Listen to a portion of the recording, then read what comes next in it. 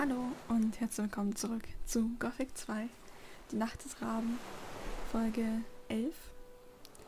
Und wir haben gerade mitten in der Nacht und sind an einem Strand und schauen jetzt mal, ob hier jemand wohnt. Hier ist auf jeden Fall eine Hornmuschel und da ist jemand. Und ich hoffe, er ist uns gut gesinnt. Ich bin mir nicht sicher, er kämpft glaube ich gerade gegen irgendwas oder macht zumindest irgendwie solche Bewegungen. Klappmuschel. Ja, doch. Scheint uns nett gesinnt zu sein. Sieht wie ein Pirat aus. Dann speichern wir mal kurz. Und reden mal mit dem. Da bist du ja endlich. Ich warte ja schon seit Stunden. Aber Moment mal. Du bist gar kein Händler aus der Stadt, oder? Wo ist Baltram? Baltram? Wartest du auf einen Händler? Du bist wohl ein ganz schlauer, was? Das habe ich doch eben gesagt, oder etwa nicht? Dieser Nichtsnutz von einem Kleinkrämer hat mich wohl vergessen, so wie es aussieht. Der soll mir noch mal in die Finger kommen, sage ich dir. Wer bist du? Ich wüsste nicht, was dich das angeht. Aber wenn du es unbedingt wissen willst, mein Name ist Skip. Na, klingelt's? Wer? Jetzt sag bloß, du hast den Namen Skip noch nie gehört. Meine Fresse, wo lebst du denn? Ich bin einer der meistgesuchten Verbrecher in Korinis. Meine Jungs und ich machen schon seit Jahren die Gewässer um diese lausige Insel hier unsicher. Das musst du doch schon mal gehört haben.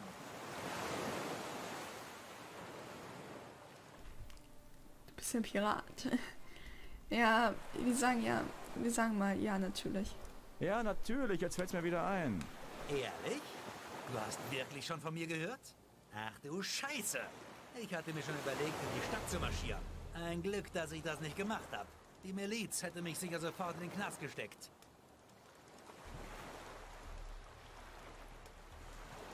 Wo kommst du her? Du willst wissen, wo unser Unterschlupf ist? Wenn ich dir das erzähle, dann könnte ich mich ja gleich der Miliz stellen. Außerdem würde dir das sowieso nichts nutzen, falls du vorhaben solltest, uns aufzusuchen. Die Insel Korinis ist groß und da, wo wir sind, kommt sowieso niemand hin. Es sei denn, er fährt mit einer Kogge oder einem Schiff. Dann müsstest du auch noch einen Weg durch die Klippen finden. Niemand kommt da durch, es sei denn, er kennt den geheimen Weg. Es gibt nur zwei Menschen, die den Weg kennen. Und du bist keiner von ihnen. Eine Menge Einwohner werden vermisst und alles deutet darauf hin, dass du daran nicht ganz unschuldig zu sein scheinst. Verdammt, aber die Sache ist nicht so, wie du denkst. Sehe ich etwa aus wie ein Menschenhändler? Nein, ich transportiere Waren. Was das für Waren sind und wo die herkommen, geht mich nichts an. Wir haben viele Dinge für diese Schweine geschippert. Am Anfang war es ganz normaler Kran. Naja, das eine oder andere war Schmuggelware. Doch irgendwann fingen sie an, die Bewohner der Stadt zu entführen. Keine Ahnung, was sie mit ihnen vorhaben. Wir haben sie nur rübergefahren. Von wem sprichst du? Von den Banditen, Mann. Von wem sonst?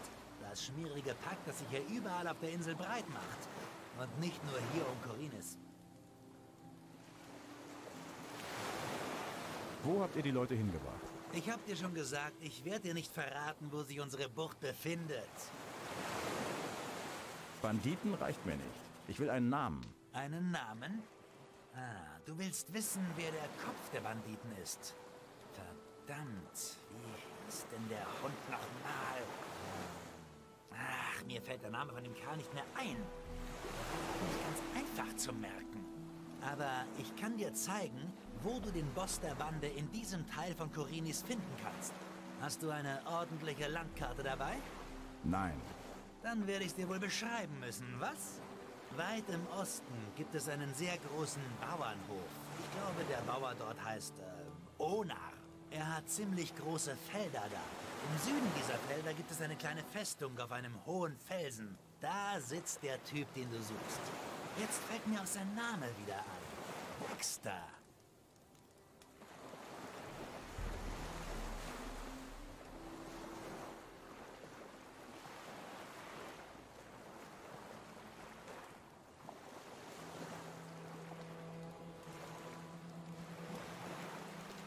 Womit denn?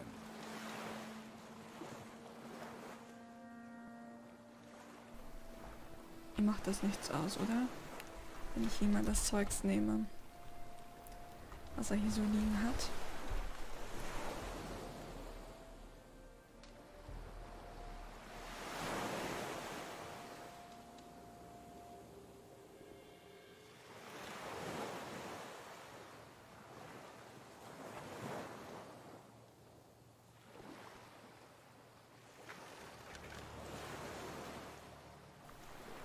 Ist wieder eine Steintafel. Sehr gut.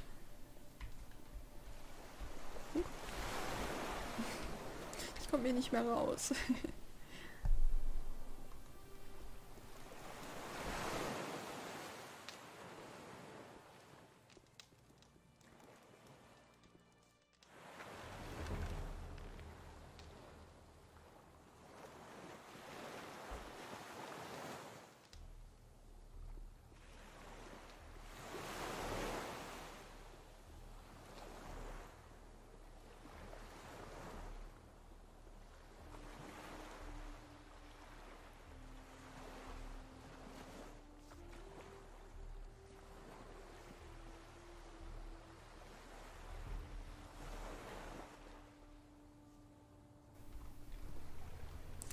mir leid, wenn es gerade ein bisschen sehr dunkel ist.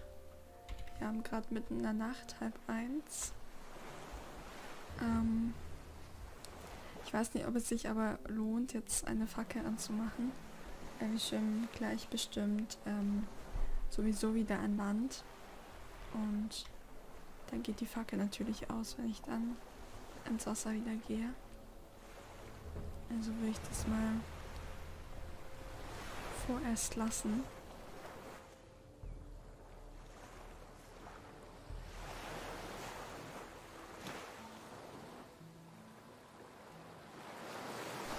Okay, das ist ein Varan. Ja, dann ähm, lasse ich die Gegend mal.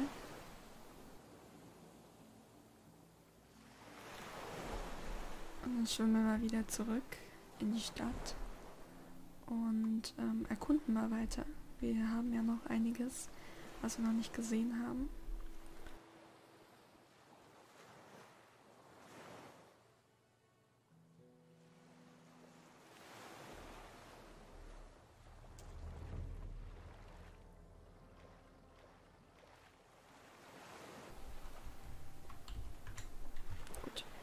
Ich seht jetzt wieder gut.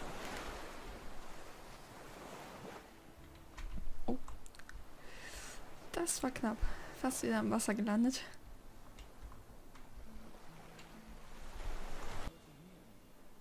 Vielleicht können wir vorher noch mal kurz zu der einen, die für uns Fischsuppe macht. Vielleicht können wir gerade noch einen Fisch dahin bringen. Die ist ja hier an der Seite.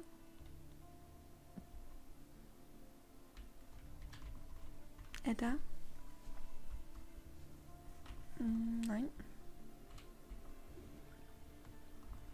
Na gut. Dann nicht.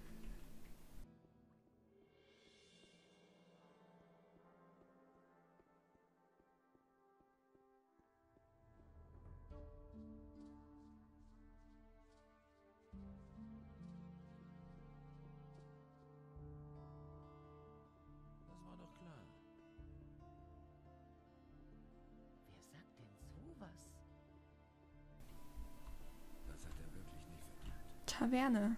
Noch eine Taverne. Hoffentlich kommen wir da rein. In die andere dürfen wir ja noch nicht. Aber scheint so. Koragon. Regis. Regis. Valentino. Und Bartok. Gut. Reden wir mal mit allen.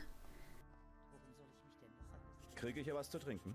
Wenn du Gold hast, kannst du hier sogar was essen, wenn du willst. Er arbeitet auf den Und wie läuft das Geschäft so? Ach, hör auf. Lord André lässt am Galgenplatz Freibier ausschenken. Jetzt kommen fast nur noch die reichen Leute aus der Oberstadt her. Was ist so falsch an denen? Einige von den feinen Pinkeln können dir ganz schön auf die Nerven gehen.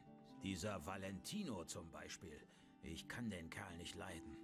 Aber ich kann mir meine Kundschaft nicht aussuchen. Ich brauche jedes Goldstück. Das bisschen, was ich gespart habe, ist mir zusammen mit meinem ganzen Silber gestohlen worden. Ja, super. Hm. Weiß ich natürlich, was ich da frage. Was ist los mit diesem Valentino? Er ist stinkreich und muss nicht arbeiten. Und er bindet das auch jedem auf die Nase. Egal, ob man's hören will oder nicht. Er säuft viel und bleibt immer bis zum Ende, bis er dann früh am Morgen zurück ins obere Viertel wankt. Das geht jeden Tag so.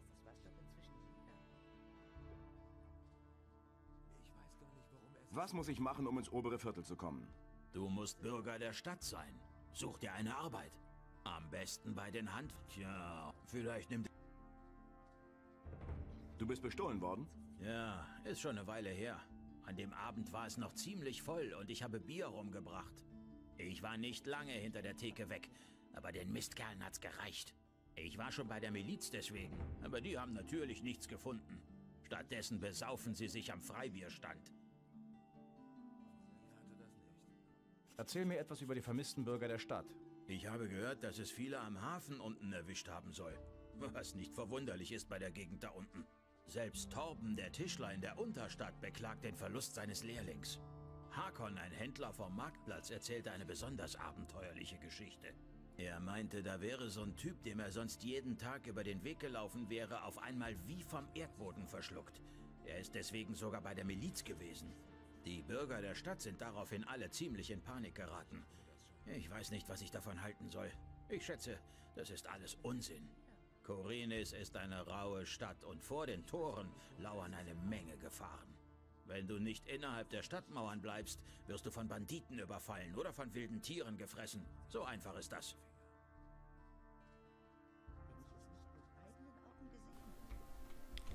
Ja, wir wissen ja wahrscheinlich, wo wir rein müssen. Also ich vermute mal stark, dass es ähm, schon bei diesem Tor war. Aber wir brauchen einen Schlüssel, um da reinzukommen. Wie sieht's aus? Du kommst wohl nicht von hier, was? Mach dir nichts draus, ich auch nicht. Wo hast du dich vorher rumgetrieben? In den Wäldern, dort habe ich Scavenger und Wölfe gejagt, zusammen mit ein paar anderen Jägern. Aber das habe ich aufgegeben. Die Zeiten sind gefährlich. Da draußen läuft viel zu viel Gesindel rum. Bospa sagte, du hättest für ihn gearbeitet. Ja, hab ich. Aber ihn haben nur seine scheiß Fälle interessiert. Ich habe ihm gesagt, wie gefährlich es da draußen geworden ist. Er hat mir gar nicht richtig zugehört.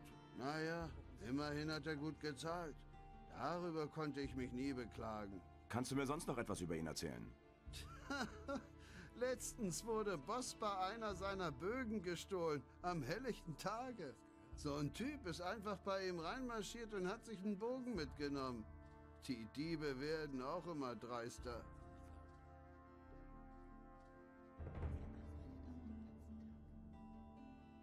Was ist, wenn wir zusammen auf die Jagd gehen?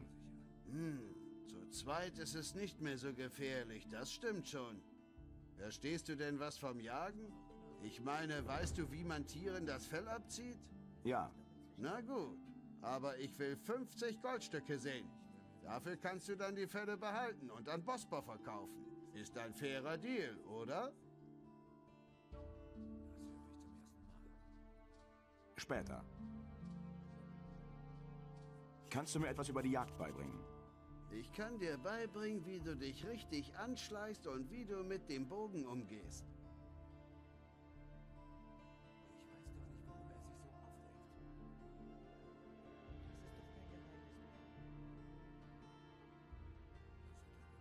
Wo kann ich die anderen Jäger finden? Wir hatten unser Lager draußen in der Nähe der Taverne, auf halbem Weg zu Onas Hof. Aber ob jetzt noch einer im Lager ist, weiß ich nicht. Bis vor einigen Tagen waren wir noch zu zweit hier in der Stadt. Mein Freund Troka ist ein hervorragender Jäger. Wo ist dein Freund Trokar jetzt? Tja, das ist eine merkwürdige Geschichte. Erst bis vor einigen Tagen noch standen wir beide an der Theke in Koragons Taverne und sprachen über die Jagd. Frag mich nicht, was dann passierte. Ich hatte schon einiges getrunken. Ich weiß nur noch, dass Trokar sagte, Er wolle eben ein paar Sumpfkrautstängel besorgen und kam nicht wieder. Wo bekommt man den Sumpfkrautstängel? So viel ich weiß, irgendwo am Hafen. Hast du nicht nach ihm gesucht? Das nicht. Aber ich hab's der Miliz gemeldet. Die haben ihn aber auch noch nicht finden können. Will nicht hoffen, dass ihn ein Wolf angefallen hat oder noch Schlimmeres. Ich hab Angst, dass ich eines Tages bei der Jagd über seine Leiche stolpere. Ich fürchte, das würde ich nicht verkraften.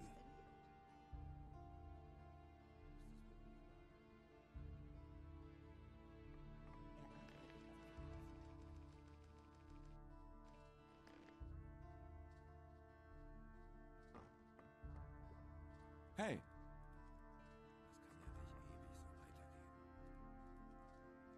was kannst du mir noch über Lord André erzählen? Er hat auch das Amt des Richters übernommen. Wenn du hier in der Stadt Ärger machst, musst du dich vor ihm verantworten. Ich hatte mal eine Schlägerei mit einem der Bürger. Der ist direkt zu Lord André gerannt und hat alles gepetzt. Der Spaß hat mich 50 Goldstücke gekostet. Ich kann froh sein, dass es nachts war, sonst hätten es noch andere mitgekriegt. Je mehr Leute sich in diesem Kaff hier über dich beschweren, desto höher wird deine Strafe. Mit wem hast du dich geprügelt? Mit einem Typen namens Valentino. Er hängt oft in der Kneipe beim Tempel rum. Ich bin ja normalerweise ein friedliebender Mensch, aber der Typ brauchte einfach was aufs Maul. Ist dir irgendwas Aufregendes passiert? Ach nee, alles ruhig. Schätze, wenn die Orks kommen, werden wir es hören. Vermutlich. Na gut. Ja, dann speichern wir nochmal. Reden mal mit Valentino und schauen mal, was mit dem los ist. Na, was bist du denn für einer? Hast du keine Manieren? Ist ja ekelhaft. Ewig dieses dreckige Gesindel. Hast du keine Arbeit, wo du jetzt sein müsstest? Aber ich glaube, so einen runtergekommenen wie dich vermisst keiner. Was? Tja, wenn du mal so viel Gold hättest wie ich, müsstest du auch nicht arbeiten. Aber so reich wirst du nie sein. Ich merk schon, mit dir werde ich mich noch amüsieren. Ich habe dich gefragt, wer du bist. Ich bin Valentino, der Schöne, Lebenskünstler und Schürzenjäger. Arm an Sorgen, reich an Weisheit und Gold, und die Frauen liegen mir zu Füßen. Hast du Probleme? Dann halt sie fest. Ich kann sie nicht gebrauchen. Hast du mir noch was zu sagen? Mach dich beliebt, verspreche niemandem etwas, nimm dir, was du kriegen kannst und pass auf, dass du dich nicht mit der Miliz anlegst. Oder natürlich mit eifersüchtigen Ehemännern. Die sind die schlimmsten, sag ich dir.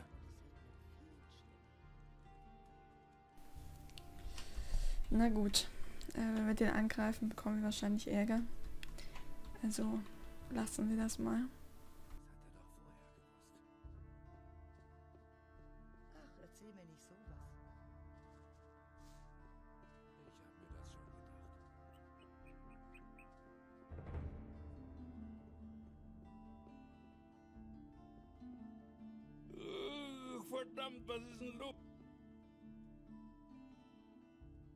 Habe noch eine Steintafel für dich. Gut, hier, nimm ein paar Tränke als Belohnung. Dankeschön. Noch knapp 100 ähm, XP brauchen wir, dann haben wir wieder ein neues Level erreicht. Stufe 3 dann schon. Immerhin. So. Ist wahrscheinlich jetzt nicht so günstig, so mitten in der Nacht äh, den Marktplatz sich anschauen zu wollen. Aber dann können wir ja auch mal einfach eine Runde schlafen gehen und morgen uns das hier alles anschauen. Ich glaube, das machen wir auch. Genau, ich bekomme ja auch Ärger, wenn ich hier reingehe.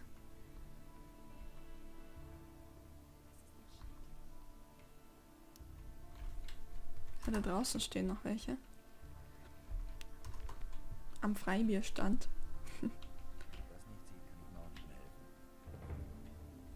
Vielleicht können wir mit dem noch reden. Hier Rengaru. Hey. Was machst du hier?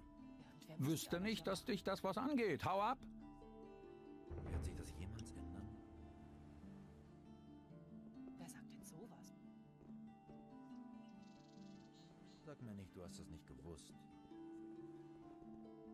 Hey. Ich hab was anderes gehört. Hey, wie sieht's aus? Solange die Paladine keine neue Aufgabe für mich haben, kann ich mir hier ein paar Biere genehmigen. Was will man mehr? Du arbeitest für die Paladine? Ja, ich mache Ihnen Meldung über die Situation in der Stadt. Zurzeit ist alles ruhig. Das habe ich noch gar nicht gewusst. Wie ist die Situation mit den Orks? Kein Grund zur Besorgnis. Wir von der Stadtwache und die Paladine haben alles im Griff. Geh nach Hause und lass uns unsere Arbeit machen. Wir passen schon auf die Stadt und ihre Bürger Ich weiß auf. gar nicht mehr, wem man noch glauben kann. Das habe ich schon. Willst du noch ein Bier? gesagt. Es geht doch ist nichts über ein Sache. kühles Pilz. Irgendwer muss die Arbeit ja machen.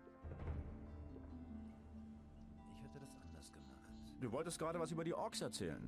Ach ja, richtig. Die Orks sind überhaupt keine Bedrohung für die Stadt. Die sitzen im. Minental fest und der Pass wird von den Paladinen gehalten. Da kommt nicht mal eine Fleischwanze durch. Von selbst ist er nicht darauf gekommen. Naja, also eventuell haben wir ja schon einen Ork Hört gesehen. ihr Bewohner von Korinis. Auf Was machst du hier? Anordnung Ich bin Novize ehrenwerten Lord und komme vom Kloster. Ich erledige die Botengänge für der die Magier und auch die Paladine. Ich habe die drei Wirte in der Stadt mit Wein aus dem. Kloster Jeder hat versorgt. sich ab sofort in den Hast du hier Fertigkeiten das des Kampfes zu üben Wer sind die drei Wirte? Das ist zum einen der gute Mann hier hinter dem Tresen. Dann gibt es noch Koragon, der seine Taverne am Tempelplatz hat. Und Cardiff, der Wirt von der Kneipe im Hafenviertel. Was kannst du mir über das Kloster erzählen? Wir Novizen suchen Erleuchtung im Gebet zu Innos und lernen von den Magiern die Grundsätze des Glaubens. Wir dienen ihnen, so wie wir Innos dienen, und bereiten uns auf den Bund mit dem Feuer vor. klar. Und er kann mich schon mal zum, Bus ähm, zum Kloster bringen.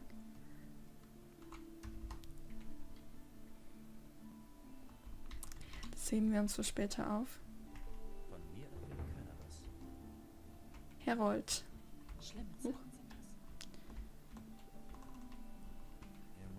Besser wissen. Stör mich nicht, ich bin im Dienst. Ach so. Erzählen. Das ist eine schlimme Sache.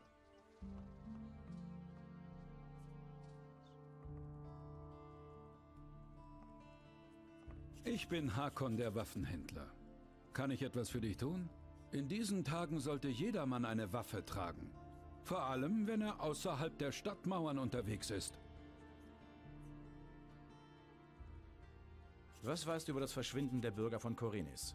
Ich habe schon viele durch das Stadttor im Osten schreiten sehen. Einige sind gekommen, die ich in meinem Leben noch nie vorher gesehen habe. Und viele sind dort hinausgegangen und kamen nie wieder. Aber neulich geschah etwas, das war schon befremdlich. Da war so ein Kerl bei mir, ich glaube Joe ist sein Name. Er prahlte damit, dass er bald zu großem Geld kommen würde. Er wüsste angeblich, wie man in einen der Stadttürme, in denen die Miliz ihre Waffen aufbewahrt, hineinkäme. Seitdem habe ich ihn nicht mehr gesehen, obwohl er mir sonst jeden Tag etwa um die gleiche Zeit über den Weg gelaufen ist. Ich habe das der Miliz gemeldet und dachte, vielleicht haben sie ihn erwischt. Und ich finde ihn da im Kerker wieder. Lord André wusste aber nicht, wovon ich rede. Er kannte den Typen nicht einmal.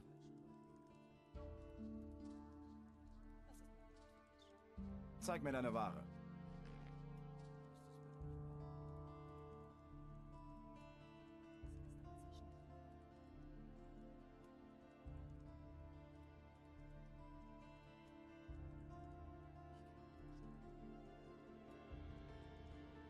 Schaut euch mal die Stats an. Ich glaube, wir haben 20 Stärke, oder? 20 Stärke und 20 Geschicklichkeit, so ungefähr. Und ich meine, hier, da ist die Stärke sogar höher als der Waffenschaden. Hier ist es gleich. Hier ist die Stärke auch höher als der Waffenschaden. Hier ist gleich. Also schon ganz schön, ganz schön stark. Also ganz schön, ganz schön viel Stärke nötig. Ab sofort wird Lord André den Oberbefehl für unsere Miliz übernehmen. Alle Bürger dieser Stadt, die über kämpferische Fähigkeiten verfügen, werden hiermit angehalten, der königlichen Miliz beizutreten. erzähl dir doch nichts Neues. Hanna. Das ist die letzte, mit der wir jetzt noch reden. Ich habe ein paar Fragen zur Stadt. Na gut, das wissen wir. Wer übernachtet hier zurzeit? Es sind fast alles fahrende Händler vom Markt. Aha. Denkt nicht mal dran, dich an ihren Sachen zu vergreifen. Ich will ja keinen Ärger haben. Warum bezahlen die Paladine das alles? Ich weiß auch nicht, was das alles soll. Ich denke, zum einen wollen sie die armen Schlucker von der Straße holen, damit die keine Dummheiten machen. Und zum anderen wollen sie sich mit den fahrenden Händlern gutstellen. Jetzt, wo die Bauern sich auflehnen, sind wir auf die Versorgung durch die Händler angewiesen. Außerdem denke ich, wollen sie die Stimmung in der Stadt ein bisschen anheben. Lord André hat ja auch angeordnet, dass am Galgenplatz Freibier ausgeschenkt wird. Na gut. Dann ähm, beende ich jetzt diese Folge an dieser Stelle doch mal. Dann vielen Dank fürs Zuschauen und bis zum nächsten Mal. Tschüss.